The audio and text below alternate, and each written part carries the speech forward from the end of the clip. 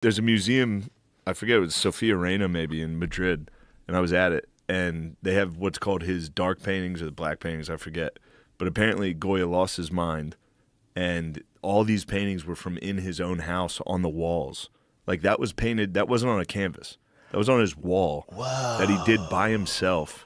He lost his mind. He would paint at night with candles on his head, Oh my like a God. chandelier of candles on his head. Oh He God. Painted satanic shit.